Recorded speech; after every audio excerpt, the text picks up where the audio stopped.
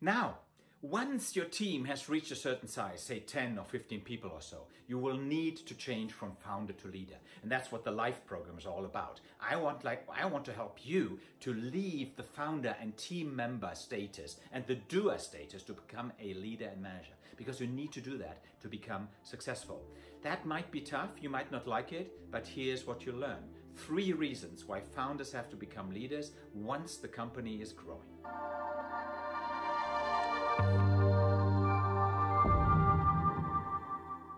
Please watch this video until the end so that you will learn why now is probably the right time for you to change from founder to leader if you have a company with at least 10 employees. My name is Armin L. Rau. I'm the founder of A. Leonard Rau, the entrepreneur's entrepreneur, and I want to help you to become a great leader. If you don't want to miss any lesson on leadership for entrepreneurs, subscribe to my channel to always receive latest insight, tips, tricks, and tools from my experience to become a more successful leader of your startup or your company. Now, here are the three reasons for why you have to become a leader and manager now, and you have to leave the founder's role. Number one is your company needs direction.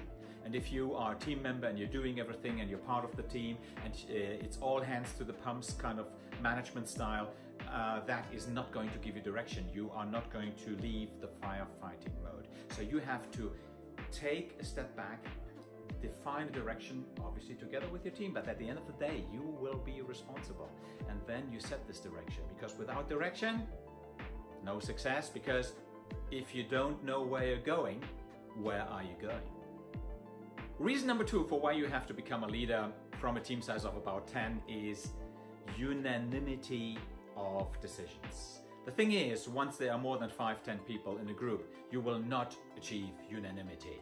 There will always be people who are not happy with um, a certain option. So there needs to be the leader who has discussed, who has listened to all the points of view, and who at the end of the day, on one hand, takes the decision and also takes the responsibility for that decision. So that has to be you as the entrepreneur, as the founder, and based on that decision, you are going forward and everybody has to follow. So it's as Jeff Bezos of Amazon would say, what does he say? Dis uh, disagree and commit.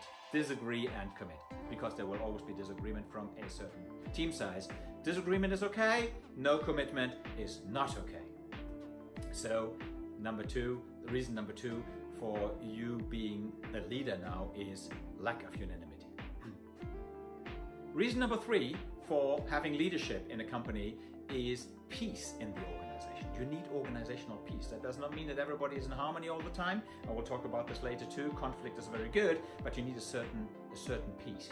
Because if there is no leadership, no direction, people don't know where they're going. That makes them insecure. Uh, uh, that the um, the rumors start going around, uh, and that kind of stuff, which you would not like to have. It also makes them do what they think is right if there's no direction, and this might not be in line with the company goals.